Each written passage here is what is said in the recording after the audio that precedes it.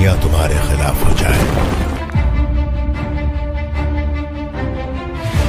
हालात मुश्किल हो जाए।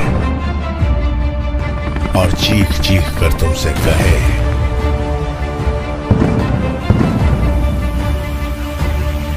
कि तुम बुरी तरह हार चुके हो। कहानी असली केजीएफ की।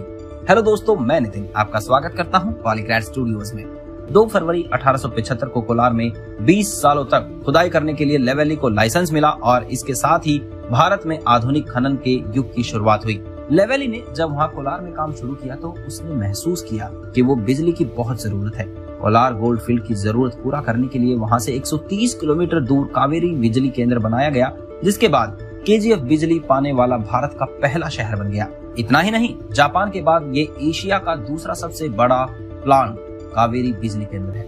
सोने की खदान के वजह से बेंगलुरु और मैसूर के बजाय केजीएफ को अधिक प्राथमिकता मिलने लगी थी। डेक्कन हेराल्ड ने केजीएफ को मिनी इंग्लैंड भी कहा था। केजीएफ ने पानी की ज़रूरत को पूरा करने के लिए वहाँ अंग्रेज़ों ने एक तालाब भी बनवाया था। साल 1930 में इस केजीएफ में तीस हज़ार मजदूर काम कर रहे थे। भारत के आज़ाद होने के बाद सरकार ने इसे अपने अधिकार क्षेत्र में ले लिया और 1956 में इस खान का राष्ट्रीयकरण किया गया। 1970 में भारत सरकार की Bharat gold mines limited company में वहाँ अपना काम शुरू किया, लेकिन उन्नीस के बाद उनका घाटा होने लग गया। स्थिति इतनी खराब हो गई कि वो अपने मजदूरों की सैलरी भी नहीं दे पा रहे थे, जिसके बाद साल 2001 में Bharat gold mines limited company ने वहाँ सोने की खुदाई बंद कर दी, जिसके बाद वो जगह ऐसे ही पड़ी है।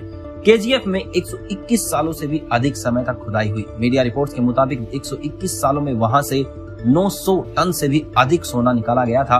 अब ऐसे में बहुत से लोगों के मन में ये सवाल आता है कि इतने लंबे समय तक इतना अधिक मात्रा में सोना देने वाली इस गोल्ड माइन को आखिर बंद क्यों किया गया?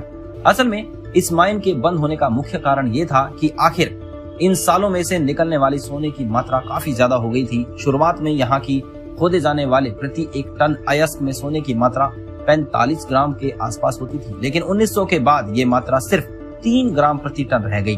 और इतना कम सोना निकलने की वजह से बीजीएमएल को लगातार नुकसान हो रहा था और साथ ही खदान के बेहद गहरे हो जाने की वजह से प्रोडक्शन कास्ट में भी लगातार वृद्धि हो रही थी और प्रॉफिट दिन प्रतिदिन घटता जा रहा था और इन्हीं सभी कारणों से इस माइन को 28 फरवरी 2001 के दिन हमेशा के लिए बंद कर दिया गया और इस खदान में माइनिंग बंद करने का ये फैसला काफ़ी अचानक लिया गया था।